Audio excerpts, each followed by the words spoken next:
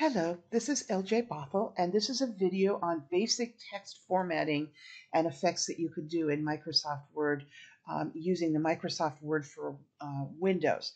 You should be able to transfer most of this information, not all of it, whether you use a Mac or other operating systems, although you may have to look in slightly different places to find some of the tools. Now, instead of um, following along with the uh, uh, business technology essentials textbooks that I wrote, I'm just going to do general information in these videos that you can apply there. That way, uh, I don't confuse you by doing a step out of order of what the book suggests. Instead, we'll show you the types of things you'll be learning to do so you can see how they're done. So what I've done is I've opened up a document here. It's basically full of a lot of nonsense.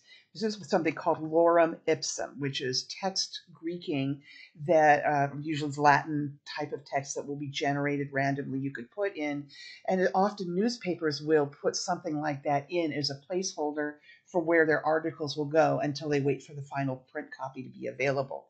You could do this here, and I've, I've chosen to use this one using a combination of Office Ipsum, Business Ipsum, and a couple of other things. This will give us a chance to practice with different effects with text, later on with themes and page sizing and borders and all sorts of other things. But for this video, we're just going to work on basic text effects. Now, as I've indicated in the user interface video, uh, video, you can go down to the lower right-hand side and use the zoom to make a document bigger. Even so, let's take a look and see what we have. We just have a whole bunch of text. It's basically in what is known as the Microsoft Office default format. So it comes in in a text called Calibri and uh, 12 points. And um, it also comes in with a basic color palette set. So we're on the Home tab, which is what we'll do most of our stuff in this video on. One of the things we have access to is a font color. And when you click down, you'll see there's a color palette. It gives you all sorts of choices. We'll look at that a little later. But what are the basic things that you could do with text? First, of course, you could start typing um, anything that you want in here. So let's see, I'm going to call this by. You can indent, make it bigger, change the color, make it bold, and so on. Now, for folks who haven't got much familiarity with these kind of programs yet, let me show you just a couple of other basics. You can put your cursor anywhere, hold your left mouse key down, unless, of course, you've programmed your mouse to have your right key be your left key, and then hold it down and drag, and you can select things. So I'm, this is what I'm doing here. You can select from line to line. You can double click um, on a word to select the word, and you can triple click to select the paragraph. What do I mean by paragraph? This is clearly just two words, right? Well, this is actually what Microsoft considers a paragraph. What I'm going to do is I'm going to turn on an icon up here that shows you, and this is what is a paragraph symbol. So after this paragraph is over, or this line of text is over, when you hit enter, you get this sort of thing. I leave this off usually, but it helps explain what Microsoft means by a paragraph, by each line of text that's coordinated. Now, if we scroll down here, this is a whole paragraph. I've double texted, got one word, triple texted, got the whole paragraph. I'm going to turn this icon off now. So in here, what I want to do is just make this look a little bit easier to read, even though it's a bunch of nonsense that doesn't mean anything it's actually kind of funny because these are things that you hear in offices and in meetings and from clients. And uh, so you might read through it and get a, a chuckle or two. I'm going to look here and do all this manually. I want to make this title, Office Ipsum, bigger. I want to make it stand out. And in the Home tab, what we have here are groups. Actually, you'll have groups in every tab. And the idea is that Microsoft tried to chunk types of commands together in ways that over the years of a lot of user experiences seem to make sense. So we have a font group, which touches all the things that you could do to a word, to a letter, to a paragraph. But you have paragraph um, group here too, which has to do with spacing between paragraphs, how far apart they are from each other, whether they're left or right or center aligned, whether they're indented more, whether they um, have bullets and numbers in them. Styles will be handled in a different video. And some of these other things we're just not even going to worry about.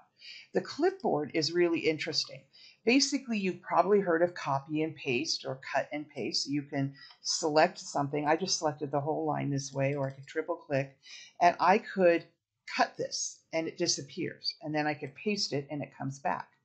I could copy my name and then put my cursor somewhere else and paste. Just hit paste and there it is. Oh, so many LJ Bothells. Let's get rid of some. I could select a bunch and hit delete. Paste offers you the option of just keep the source formatting. I cut it and then I put it back.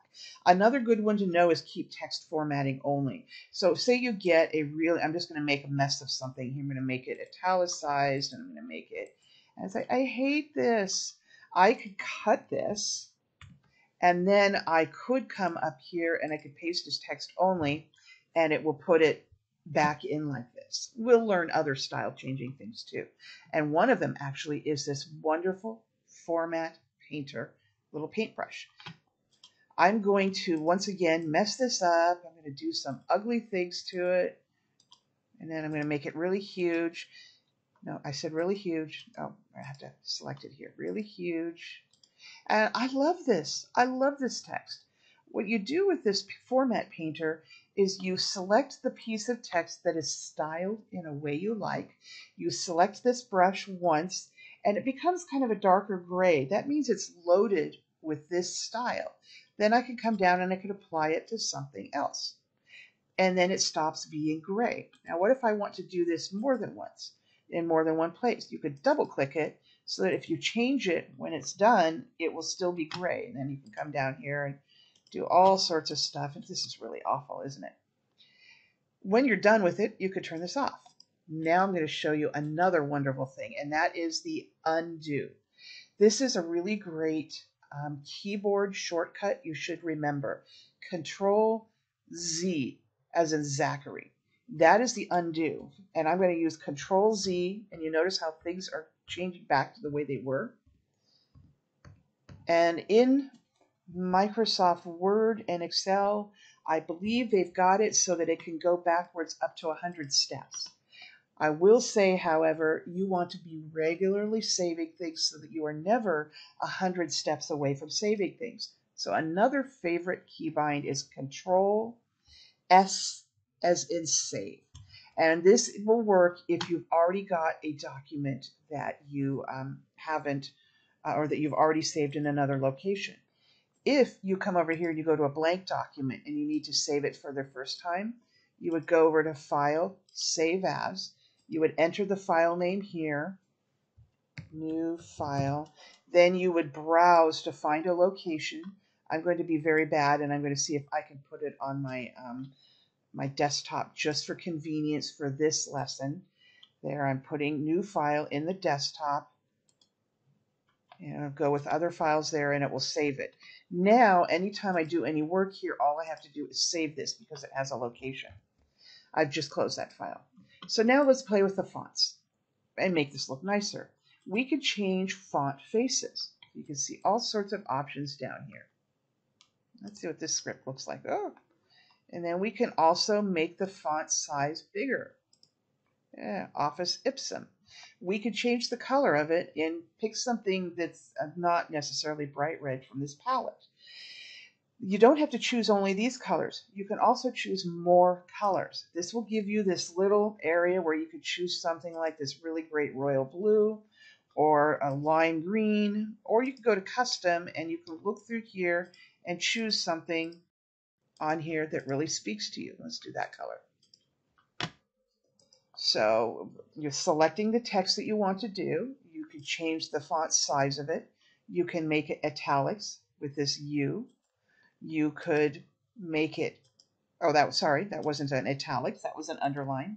Undo that, make it italics by LJ Bothell, keeping it the same size and make it bold.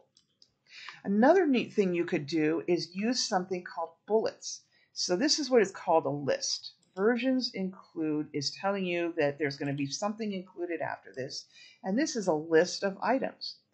These items can be made to stand out a little more by using the Home tab's paragraph group and look for bullets and numbers. Numbers is what you would use if you're listing something in the order of importance, like steps. Step one, step two, step three, my very favorite, my second favorite, my third favorite. And bullets is what you would use if it doesn't really matter what order they're in, you just want them to stand out. Let's see what else we could do here. Let's take a look at this paragraph. So in this paragraph, we can, it is currently up here aligned left. And this is the Home tab paragraph group. You can center it. You can make it right aligned. You could do something called justified, where technically it's aligned on both sides, but you may see some interesting spacing as the document tries to make it look really good that way. I'm going to go ahead and stick with left. But if I wanted to indent this more, I could use this icon up here for more indent, increase indent. I could decrease the indent. Now, here's a couple of other neat things we can do.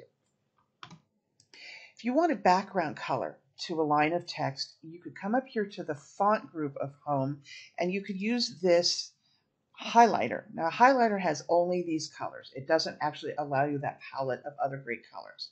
So we could put something on there. And the thing to keep in mind, if you're going to use a highlighter, make sure it's got good enough contrast that a person can read it. So I'm going to come here and change the font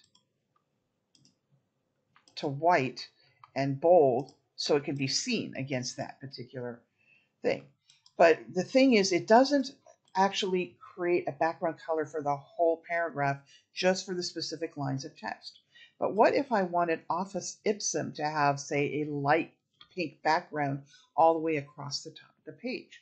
Instead, I would come over to the paragraph group and look at this paint bucket, which will allow me to paint a background color on it called shading.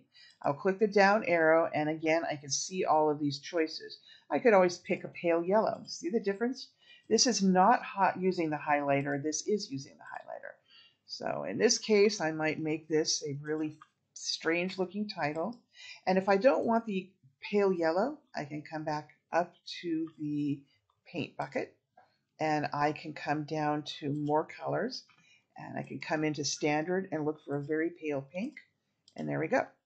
So it's easy to do things like that. You can also add a line to things. We could do underline that would just underline the words. But what if you happen to want a whole paragraph underlined? That's why this is a different paragraph group here. You can go to this group. You can look at this little icon called borders. You can click down. You could choose something like bottom border. See what happens? Another thing you should be able to do, but let's take a look at it. The problem here is that you can't actually change the borders. You can come down here to borders and shading, but this may in fact actually take you, oh nope, it takes you right here, good.